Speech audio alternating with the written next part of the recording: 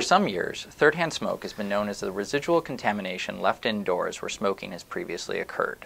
We now observe that this third-hand smoke contamination can actually be transported by smokers or those who have been exposed to cigarette smoke into non-smoking indoor environments.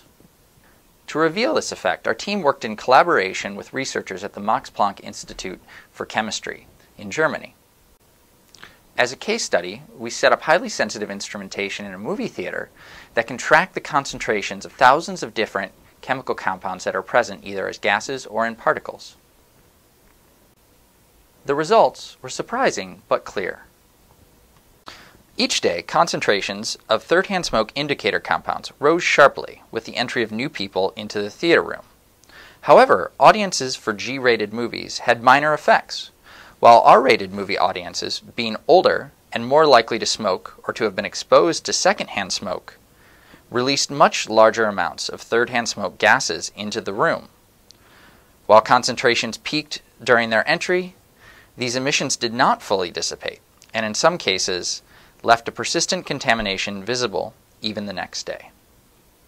This was very interesting because this observed phenomena explained how in the past researchers have observed large quantities of nicotine in a wide range of non-smoking environments.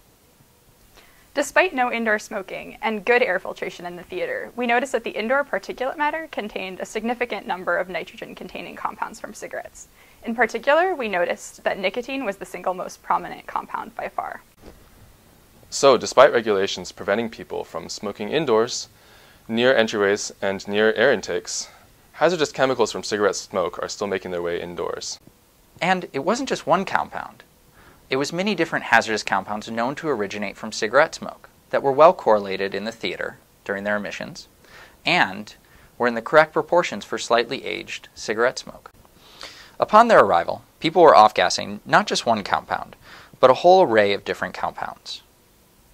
This effect was not insignificant, as the emitted gases were equivalent to 1 to 10 cigarettes of secondhand smoke, and personal exposure may be enhanced in close proximity to the off gassing people. Considering the known health effects of third-hand smoke and the fact that concentrations would be enhanced in smaller or less well-ventilated spaces, these findings open a variety of important questions for both scientists and the public.